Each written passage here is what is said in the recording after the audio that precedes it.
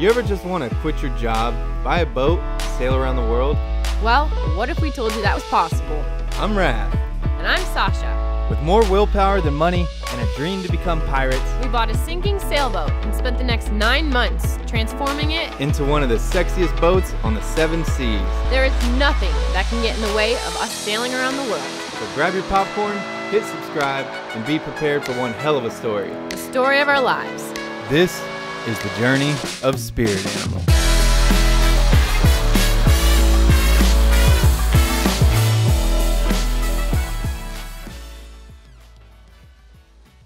We just spent the last 10 days rebuilding our engine on anchor so we could make our haul out slot today at 9 o'clock a.m. Over the last 12 hours, we stayed up all night long putting all the pieces back together. If we miss this haul out slot, the next available haul out is two months from today. Okay, I'm gonna start it! Go for it!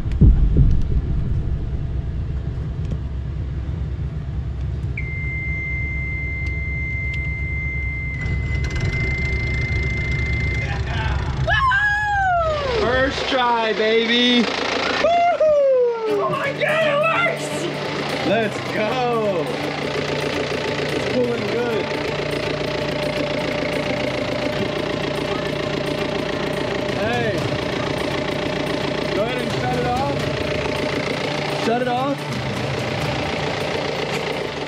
Pulling, but we do need to prime the seawater pump, okay? All right, last thing we gotta do is adjust the transmission and then catch this seven o'clock bridge so we can get to, to, to the marina on time. What time we got? 635! Woo, we got to hurry. All right.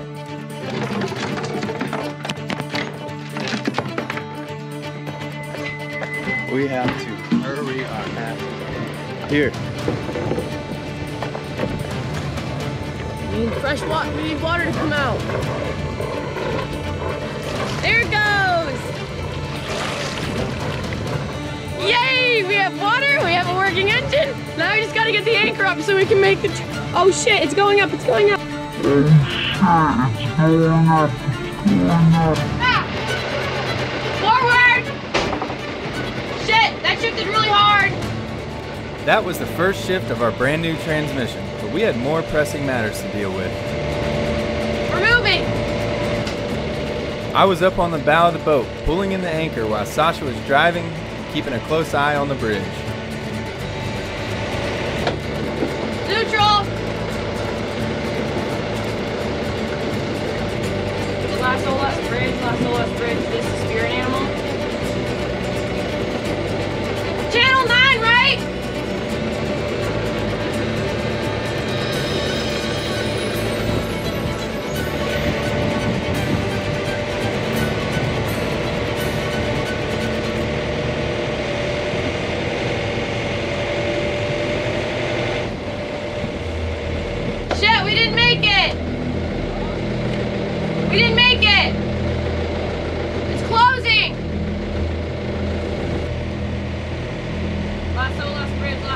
This is spirit animal.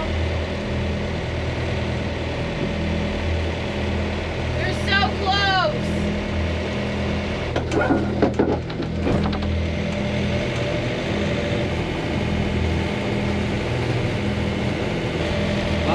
Bridge, Bridge is spirit animal. Sascha!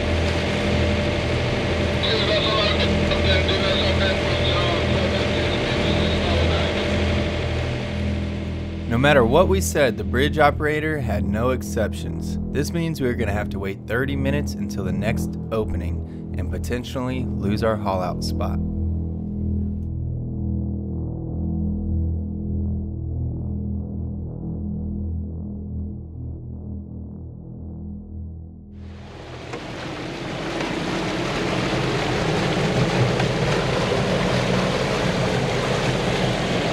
Bit of a rough morning. The engine starts, but we are not getting full RPMs.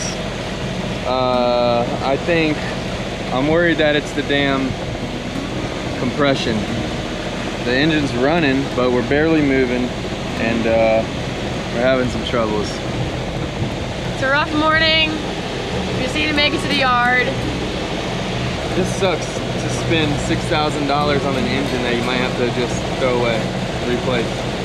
Yeah. As you can see, we're a bit distraught, but with good reason. To put things into perspective, we spent the last three weeks covered in paint and grease cleaning this boat, moving our belongings on, and rebuilding this engine on anchor while bailing water out of it on a daily basis. Not to mention, we've been eating cold chicken wings and trail mix out of a cooler that needs ice every other day, showering out of cold buckets on the back of the boat, and also sleeping on bean bags outside because the boat is too filthy to live in. And finally, for the cherry on top, the transmission we just had rebuilt is shifting very hard, the engine we spent 10 days on won't reach RPMs, and we just missed the bridge and are running late to our haul out. Now, this is not an invitation to our pity party. It's simply a first person point of view so that you can see this journey through the same eyes we did. I got dirt in my eye and I haven't slept. So, boat's not going too fast. That's full blast. Not good. So, what I'm gonna do is I'm gonna go down there and I'm gonna crack each fuel line going into each cylinder, which might be able to tell me something. So this is a little trick that can narrow down a few of your problems. Basically, you're just going to take a wrench and open up each individual fuel line one at a time. You're just going to open it up maybe a quarter of a turn, enough to relieve some pressure and let some fuel escape. Now you're listening for a change in RPMs of your engine. Once you open the line, if your engine bogs down a little bit, that means that cylinder was working properly. If you open the line and there's no change in sound, that means that cylinder wasn't working properly. Either you have a clogged fuel injector or some other problem down the line, like bad compression. Let's see if you can hear a difference.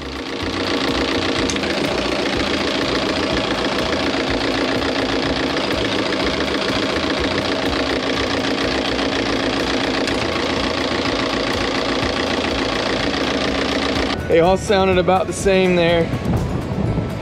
And honestly, I don't know what to tell you about that one. uh, that means that, let's see, what does that mean? That means that they're all getting fuel. That's a good sign, right? Yeah, but maybe it's a linkage problem is the reason why we're not getting full RPMs. I don't know, maybe there's a damn crab chat on the prop. Still haven't seen the bottom of the boat don't really know what the problem is. Go right right here. Oh. And I'm delusional. I haven't slept in a long time, so let me think about this to my lonesome before I go thinking on camera and sound like a dumbass. sound a lot smarter than I do about cylinders. you ever spend two weeks fixing up an engine that you got to throw away? Doesn't make you feel too good. No, doesn't make you feel too good, but we're gonna roll with the punches and uh, all I can say is I love the layout of this boat. Still, that's the only thing it's really got going for it and I just love the layout. yeah. All right, getting down to the wire here. We are coming through the channel and uh, I am anxious to see the bottom of this boat get this thing hauled out and really start working on it. You know, the engine doesn't work, but I'm still gonna paint that mother trucker. Feel me? Be a sexy floating turd. So we get to Playboy Marine and luckily they had a cancellation, which means now we have the time to haul out. However, they surprised us when they said we were gonna have to reverse all the way into the boat lift. You can see the lift about 300 yards down this tight channel surrounded by mega yachts. We got a side wind of about 10 knots coming from the east, a boat that only reverses in one direction, no bow thrusters, and a transmission that only shifts into gear when it feels like it. What's the worst that could happen? Oh. I can I can push you with the dinghy too if you need me to. Yeah, And I can use that as a fender too if I need to. So while I was trying to reverse the boat in, we put Sascha in the dinghy and she was pushing on the nose of our boat like a bow thruster.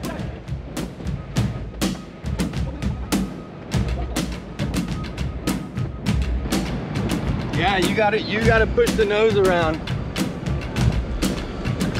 This is a shit show. I don't have bow thrusters. Boat barely moves. They want me to reverse in this thing. Sascha's on the front with the dinghy.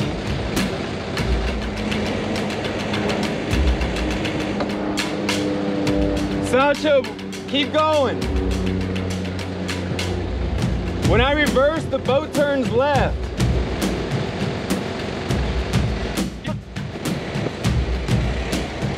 All right.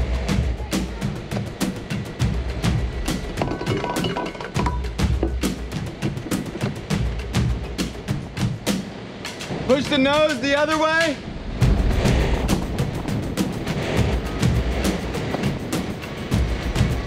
Okay. Push harder.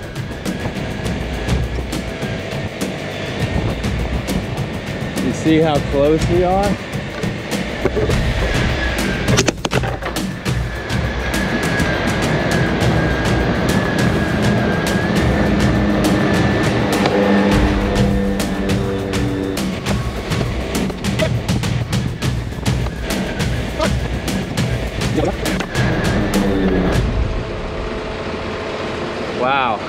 We managed to do that.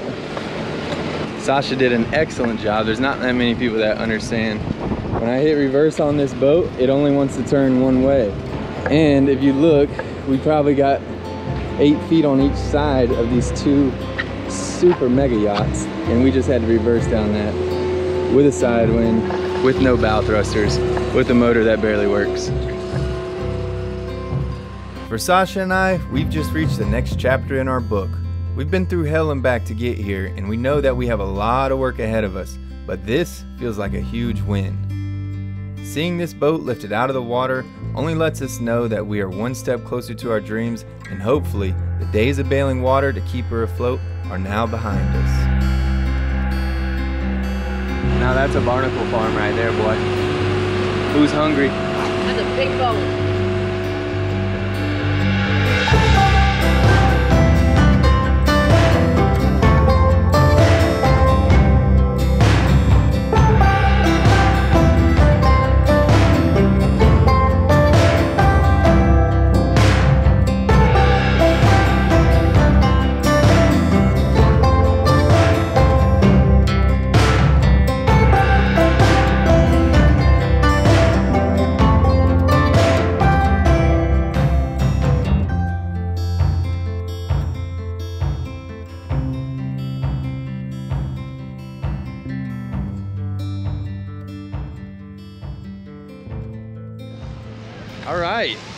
Out and I am quite surprised. It looks pretty good.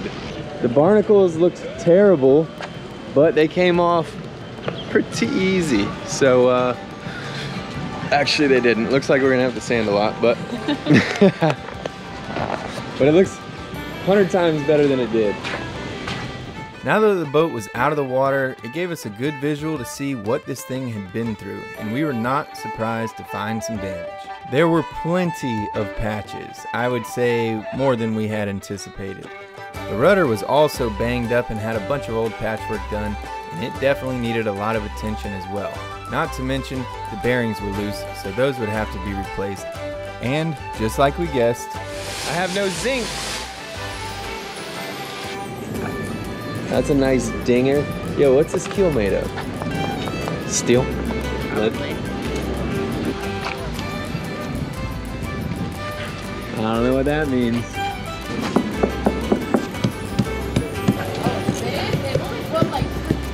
Ow, I just skinned myself really bad. Barnacles! Oh man, That one of many to come. Yeah, the keel now. Going up.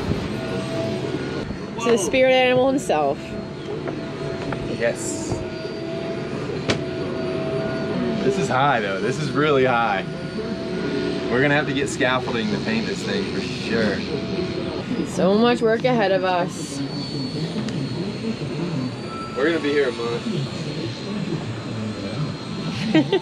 we were officially in the yard and we were dead tired. So this was the beginning of our couch surfing era. We took the dinghy and we headed back into town. Luckily, my sister Alina, aka the shovel, was renting a house nearby. And we really need to recharge our batteries because we have a long day tomorrow. Good morning. Haven't had coffee, but I'm a little bit awake this morning. So, We are in the boatyard, day one. We're gonna go through this morning and scrape the rest of the barnacles off the bottom of the boat. Got my handy dandy uh, TotalBoat gloves on, protect my hands from these nasty barnacles that gave me a nice cut the other day on my leg. And then we're also gonna go through and pull this decal off. We're gonna be repainting the top sides as well as the bottom. So we have a lot of prepping to do. Ready for this. Oh, he's gonna make some coffee. I told myself two days ago that I was gonna lay off the coffee and I've never craved it more or needed it more than now. So we're gonna delay the coffee break for a month. A month. yes! Yes! I love coffee. okay, we're gonna go make some coffee first. Break time! Arrow 7 four. See like that. Oh shoot, oh shoot. We